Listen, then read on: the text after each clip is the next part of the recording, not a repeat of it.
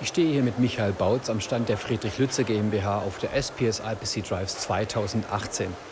Herr Bautz, Sie sind Produktmanager Cabinet und verantworten das Airstream-Verdrahtungssystem im Hause Lütze. Sie haben die wesentlichen Vorteile des Systems in Ihrer Climb-Philosophie zusammengefasst. Der Begriff stammt vom englischen Verb to climb, also klettern. Was bedeutet das in Bezug auf die Airstream-Schaltschrankverdrahtung?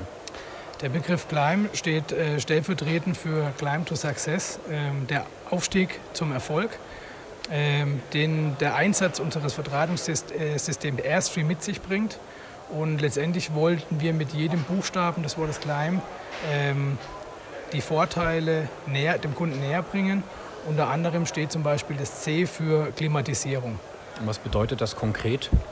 Ja, mit dem äh, Airstream-Verdrahtungssystem hat man die Möglichkeit, ein besseres Klima allgemein in dem Schaltschrank zu erzeugen. Wir äh, schaffen ein homogenes Klima in dem Schaltschrank.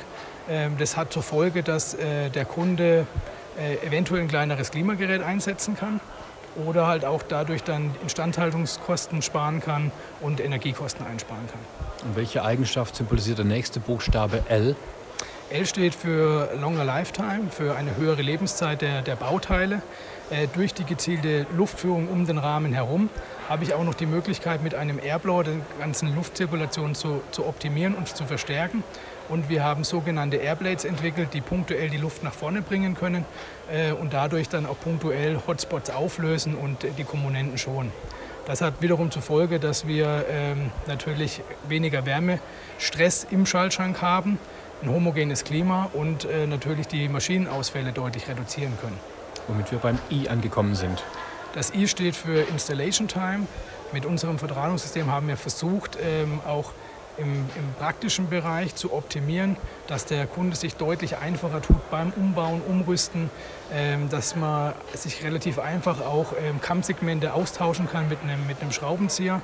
Ähm, dafür wurden spezielle Kämme entwickelt und äh, letztendlich spart es äh, natürlich Zeit.